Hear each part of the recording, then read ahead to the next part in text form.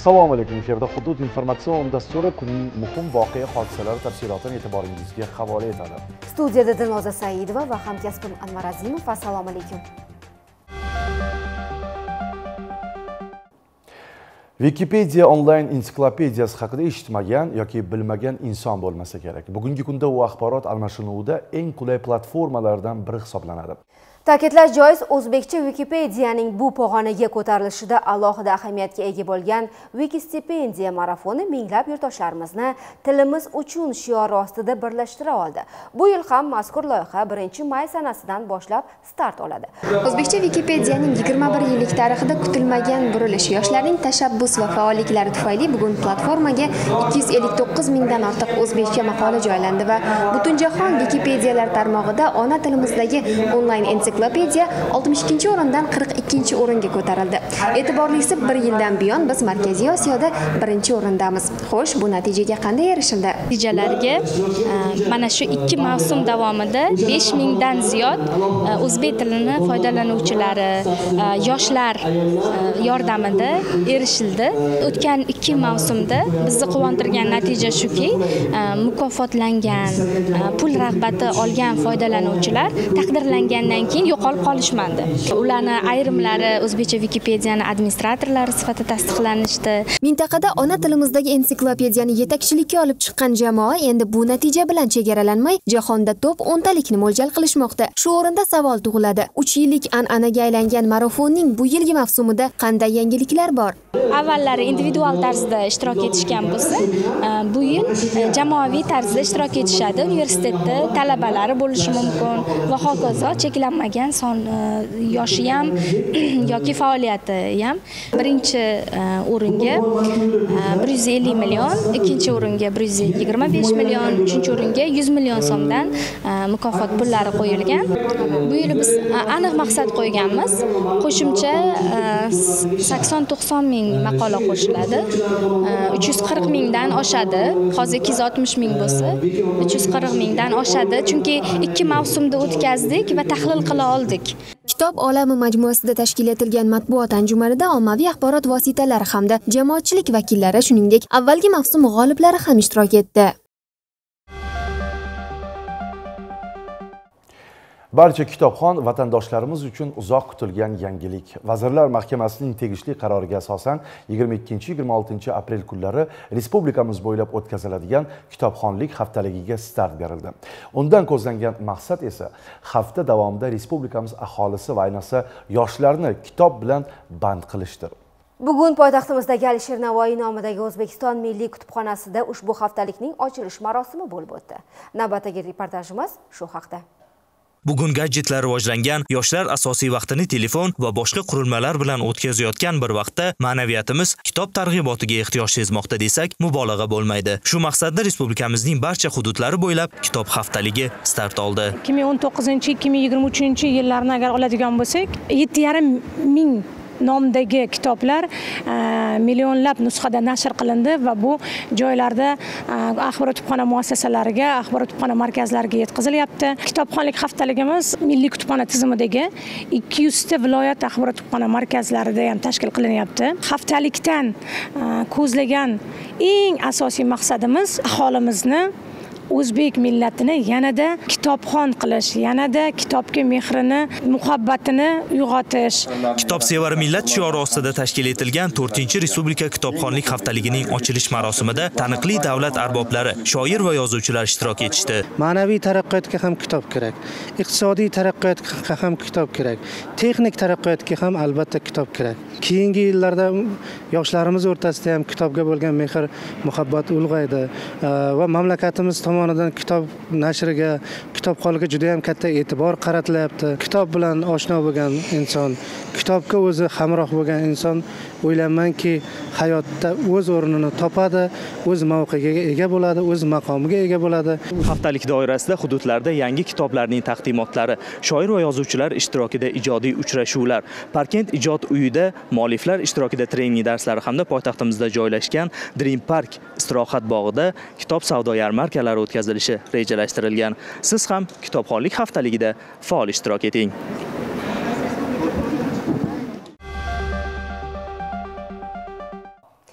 Qashqadaryolik yigit 500 kilogrammdan 1 tonnagacha yuk ko'tarishga va yerni haydashga mo'ljallangan kichik mashina ixtiro qildi. Asosan qishloq xo'jaligi ishlarida asqotadigan mazkur kashfiyot bir yarim yil deganda ishlab chiqildi. Muxbirimiz qarshilik hamyurtimiz bilan suhbatda bo'lar ekan. Unga mashina yasash jarayonlarida otasi katta motivatsiya kuch bo'lganini ma'lum qilgan. Mazkur mashina tayyor holatga kelgunga qadar esa qahramonimiz bir yarim ming aqsh dollari miqdorida mablag' sarflagan. Hozir shu haqda. Qarshi tumani qovchin qishloqda istiqomat qiluvchi shahboz 26 yoshda. Uning yoshlikdagi turli texnikalarga bo'lgan qiziqishi yaroqsiz avtomashina qismlaridan foydali avtomashina yaratishga sabab bo'ldi. Hamyurtimiz shahboz tomonidan ixtiro qilingan ushbu avtomashina asosan qishloq xo'jaligi ishlarida foydalaniladi. Ma'lumot uchun ushbu yuk avtomashinasi 500 kilogramm hamda 1 tonnagacha yukni ko'tara oladi. Suhbatdoshimiz bu qurilmani yasash uchun bir yarim yil vaqt sarflaganini aytmoqda. Oilada otasi va o'zi yashagan uchun uy ishlari ro'zg'or tashvishlari sabab jarayonlar ancha uzoq muddatga cho'zilgan. To'liq motor qismi oyoq qismi hamma qismi moskvich to'rt yuz o'n ikkini detallari bu nasus pasus mana bu shevelalar qo'shimcha qilingan lavhamiz qahramoni moddiy yetishmovchilik va o'sha vaqtda otasi betobligi uchun oliy ta'lim muassasasiga to'lov kontrakti asosida o'qishga qabul qilingan. Biroq o'qishni ham davom ettira olmagan. Asli o'zi texnikaga qiziqib institutga topshiruvdi. Meni mazam qochib qoldi yurak infarkt o'tkazib dada o'qimayman men deb pastdan bunaqasiga boshlayman. Endi bu g'oyaga qo'li pishdi endi qo'rqmayman. Hozir endi nasib bo'lsa mana bu ustaxonani sozlab beraman. O'zi hali uylanmagan uylantiramiz. Nasib bo'lsa to'ylarga aytamiz kelasizlar shahbozning hayotdagi motivatori bu uning otasi. Har qanday vaziyatda ham uni qo'llab quvvatlaydi ixtiro qilingan mana bu avtomashinaning ham qo'shimcha jihozlarini topishda uning otasi ko'makchi bo'lgan. Materiallarni topish qiyin bo'lgan. Keyin asosiysi o'sha aytgan instrument buni bitta svarka bolgarka shurpor bilan yasaganmanda. Misol pogruchchi ham qum chag'il narsalarni katta mashinaga ortsa bu ham o'sha ishni qiladi asosiysi kichkina bir yarim metr joyi yo'lak bo'lsa kirib boradi. Xullas qarshi tumanilik tengqurimiz hali kelgusida ko'plab yangi kashfiyotlar qilish istagida. Ulardan biri bu avtomashinani elektr quvvati yordamida harakatlantirishdir. Agarda otasi va'da qilgan ustaxona tezroq bitsa jarayonlar yanada tezlashadi. Ma'lumot uchun ushbu avtomashina propan yoqilg'isida harakatlanadi. Tezligi esa soatiga 50 kilometr. G'olib amirov jamol nazarov hudud informatsion dasturi uchun qashqadaryodan. Xona harorati qizib ketganda kuyib ketadigan juda sovuq bo'lganda esa qotib qoladigan injiq rassomchilik san'ati haqida eshitganmisiz? Qizig'i bu hunar bilan shug'ullanish uchun 18 yoshdan oshgan bo'lishingiz kerak. Suratlar smala bilan chizilgani sabab zararli moddalar havoga ajralib chiqadi. Bu dastlab amerikada so'ng rossiyada ommalashgan resen art san'atidir. Hozirda bu hunar turi buxoroda ham ommalashmoqda. Hunarmand mo'maygina daromad orqali 10 nafardan ortiq kishiga ushbu rassomchilik ilmidan dars ham beradi. Muxbirimiz muhiba allayevaning lavhasi shu haqda. Beshdan ortiq hunar turlari bilan muntazam shug'ullanib kelayotgan sayyora mahmudova resen art san'at turini ham o'rgandi. Qisqa muddatda yaxshi natijalarga erishgan hunarmand hozirda o'nga yaqin shogirdlar ham chiqarishga ulgurdi. Bu san'at turi bizgacha amerikadan 2008 yilga kirib kelgan. Internet tarmoqlari orqali e, ko'rib qoldim va qiziqishim ortdi.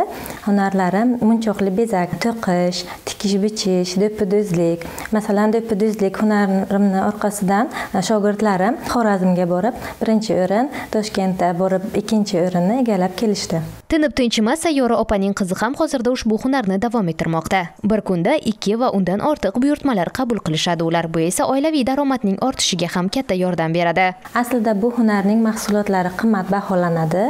Tayyorlash jarayonida menga qizim yordam beradi. Naqshlarni chizish jarayonini o'zim olib boraman uch yuz to'rt yuz ming xarajat qilsak agar ustiga yana ellik ming yuz ming qo'yib sotamiz. Resin art bu shunday san'at turiki yasalayotgan mahsulotlar muallifning fantaziyasiga bog'liq. Ya'ni yasalayotgan har birta predmet bir birini takrorlamaydi. Aynan shu sababli ham ushbu hunar turini bevosita psixologiya bilan bog'lash mumkin.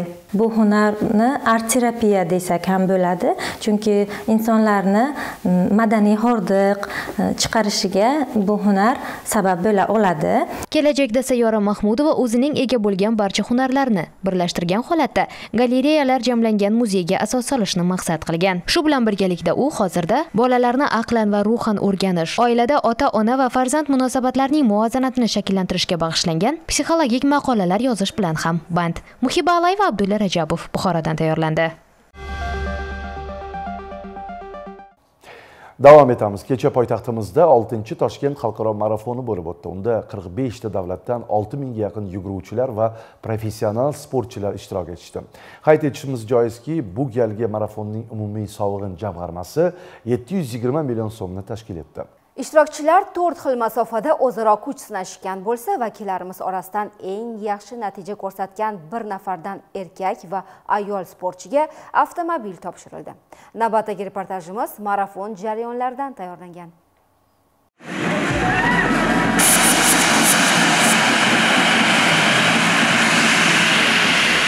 Oltinchi toshkent xalqaro marafonining bu galgisi oldingilardan mutlaqo farq qildi deyish mumkin. Chunki yildan yilga uning nufuzi va qamrovi kengayib bormoqda. Marafonda dunyoning 45 davlatidan atletlar ishtirok etgani esa so'zimizning yaqqol misolidir e, shohruh davlatov ham ushbu musobaqalarda ishtirok etyapti. Bu e, sportchimiz aynan birinchi marta o'zbekiston tarixida marafon bo'yicha e, parij olimpiadasida o'zbekiston sha'nini himoya qiladi.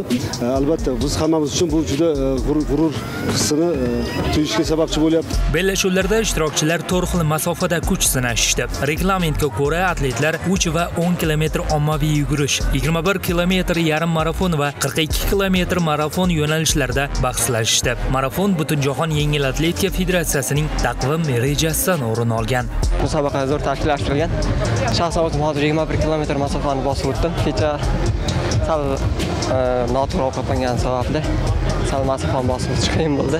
Raqiblarga ozgina yutqazib qo'ydik. Keyingi musobaqalarga harakat qilamiz. Ta'kidlash kerakki yarim marafon va marafon dasturlari bir vaqtning o'zida hamyurtlarimiz uchun o'zbekiston chempionati vazifasini ham o'tab berdi. Undan tashqari yarim marafon va marafon yo'nalishlaridagi eng yaxshi natijani qayd etgan sportchilar shohrux davlatov hamda yekaterina tunguskovaga avtomashina topshirildi.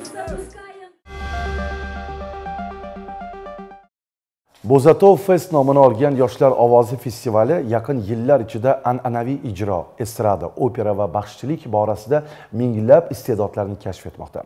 Joriy yilda ham respublikamizning barcha hududlari bo'ylab tanlovga qatnashish istagini bildirib ro'yxatdan o'tganlar soni ko'pchilikni tashkil etadi. Shu kunlarda mamlakatimiz bo'ylab tanlovning navbatdagi bosqichi ko'tarinki kayfiyatda davom etmoqda. Jarayonlardan muxbirlarimiz xabar qilishadi. Buxoro viloyati aholisining 26 foiziga yaqinini tashkil etuvchi iqtidorli yoshlar bu gal bo'zatuv festivalining buxoro viloyat bosqichida o'zaro kuch sinashdi. Bugungi shu yoshlar ovozi tanlovida uchinchi marotaba chiqishim. O'shanda o'zimga niyat qilgandim hozir shu uchinchi yana chiqqanimda birinchi o'rinni olaman deb. Tanlovning dastlabki bosqichlaridan muvaffaqiyatli o'tgan san'atsevar yoshlar uch yosh toifasi estrada an'anaviy ijro opera va baxshichilik yo'nalishlarida bor iste'dodini namoyon etish maqsadida sahnaga ko'tarildi ko'tarildi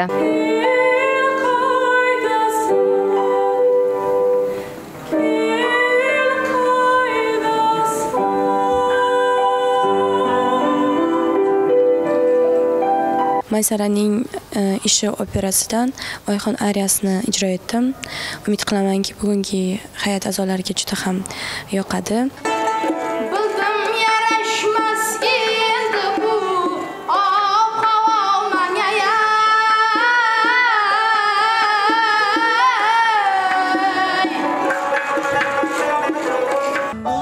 Kun davom etgan tanlovning yakuniy natijalariga ko'ra esa buxoro viloyatidan to'rtta yo'nalishda saralanib olingan ishtirokchilar festivalning eng yakuniy hal qiluvchi bosqichiga yo'llanma olishdi. Muhiba alayeva abdulla rajabov buxorodan tayyorlandi.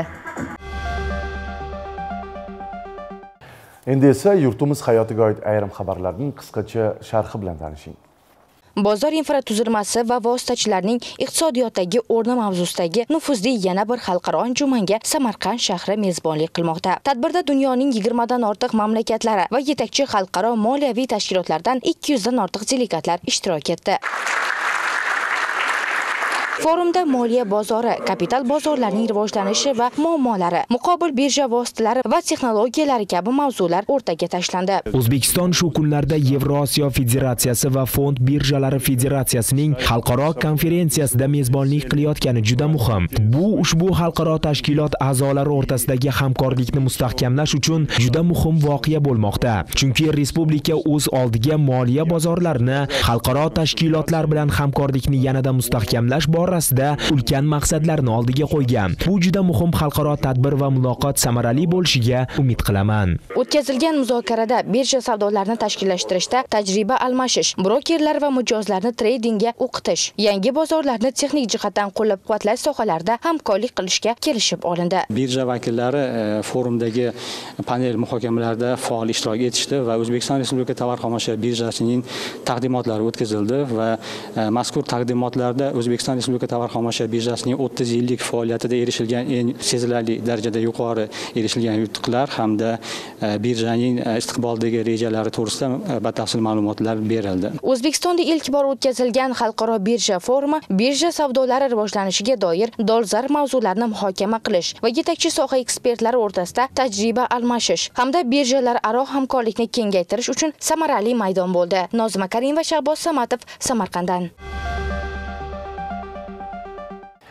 Kashtachilik amaliy san'atiga aslida ortiqcha ta'rifning sira keragi yo'q. Sababi qadimiy hunar nafaqat mamlakatimizda balki xorijda ham shuhrat qozongan. O'zbek xalq ustalari qo'llari bilan tikilgan kirpech so'zana zardevor gul ko'rpa choyshab kabilar qarang e, germaniya belgiya amerika qo'shma shtatlari hindiston afg'oniston kabi xorijiy mamlakatlar muzeylarida doimiy ekspozitsiyaga aylanib qolgan. Judayam to'g'ri kashtachilikdagi mavjud an'analar katta mahorat va ko'p qo'l mehnat talab qiladigan san'atdir. Birgina navoiy viloyati nurota tumanini oladigan bo'lsak nurota kashtachilikda o'z maktabiga ega hudud va e'tirof etish kerakki xalq amaliy bezak san'ati bo'lmish milliy qadriyatlarimiz hududda yanada boyitilib avloddan avlodga o'tib kelmoqda. Mavzuni muxbirimiz davom ettiradi. O'zining ming yillik tarixiga ega nurota kashtachiligi bugun butun dunyoga don tarata oldi desak yanglishmaymiz. Aynan nurota chashma ziyoratgohida ham bugun sayyohlar oqimi ko'plab kuzatilmoqda. Ichki va tashqi turizmni rivojlantirishda ham kashtachilik namunalarining o'rni beqiyosdir. Mana egnimda turgan ushbu chopon ham bir oyda qo'l mehnati ila yaratilgan va bahosi 500 dollargacha baholanmoqda. Nurota kashtachilik mahsulotlari ilmoqli bigiz va bosma igna sanchish yo'llari bilan yaratiladi. Har ikki yo'nalishning ham hadisini olgan munira xudoyqulovaning tikkan kashtalari bugun turkiya afg'oniston kabi boshqa bir qator mamlakatlardan kelgan sayyohlarning xonadonidan joy olgan. Buning ortida esa muniraning 18 yillik faoliyati bor. Ko'plab shogirdlari bugun o'z yo'lini topib ketishgan. Hozirgi kunda esa viloyat xotin qizlar tadbirkorlik markazi bilan hamkorlikda yo'lga qo'yilgan bepul o'quv kurslari ayollarning hunar o'rganishiga imkon bo'lmoqda. Tadbirkorlik loyihalari asosida o'qib sertifikatga imtiyozli ravishda sertifikatga ega bo'ldim va sertifikatimiz orqasidan kredit bizlarga kredit mablag'lari ajratildi. Hozirgi kunda nurota tumanidagi kashtachilik mahsulotlarini navoiy viloyatidagi ijtimoiy himoyaga muhtoj xotin qizlar aholi qatlamlariga kasbga o'qitish yo'nalishida olib boryapman. Biz hozirgi kunda saksondan ortiq ishchilarimiz bor nurota tumanidan. Ular uyda o'tirgan holatda kashta mahsulotlarni tikib berishadi va keraklicha daromadga ega bo'lishadi. Bugun har bir nurotalik kashtado'z hunarmandlar yangicha g'oya va intilish ila qadimiy hunarmandchiligimizni yangi pog'onaga olib chiqishni istaydi. Chunki kashta nafaqat oddiygina naqsh balki yuqorida ta'kidlaganimiz kabi insonlarning nozik didini tabiatiga ko'ra go'zallik haqidagi orzularini ifodalaydi.